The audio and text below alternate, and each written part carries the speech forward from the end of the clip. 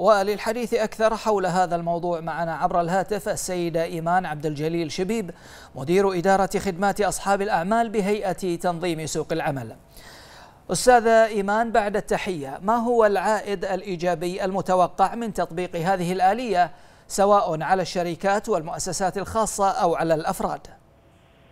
الآلية الجديدة لاستخدام العمالة من خارج مملكة البحرين والذي جاءت بناء على قرار اللجنة التنسيقية برئاسة صاحب السمو الملكي الأمير سلمان بن حمد آل خليفة ولي العهد نائب القائد على النائب الأول لرئيس مجلس الوزراء تتمثل في نشر هيئة تنظيم سوق العمل إعلانات الوظائف الشاغرة في الصحف المحلية بشكل يومي ولمدة أسبوع كامل كي يتاح لكافة الباحثين عن العمل من المواطنين والعمالة المتوفرة في السوق المحلي الاطلاع عليها والتقدم إليها.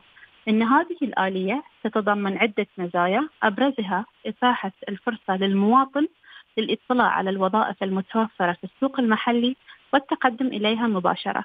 كما ستساعد أصحاب الأعمال بالتواصل مع الكوادر المتوفرة في السوق المحلي لشغل الوظيفة لديه وتوفر على صاحب العمل كلفة الاستخدام وعامل الوقت المستغرق في الاستخدام من الخارج نعم أستاذة إيمان ما هي المدة الزمنية التي يتم من خلالها استقبال طلبات المتقدمين لمثل هذه الشواغر؟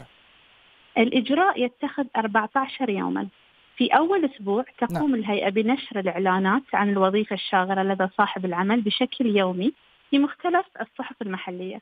فيما يتم إجراء المقابلات للتقدم للوظيفة في الأسبوع الثاني من هذه المدة.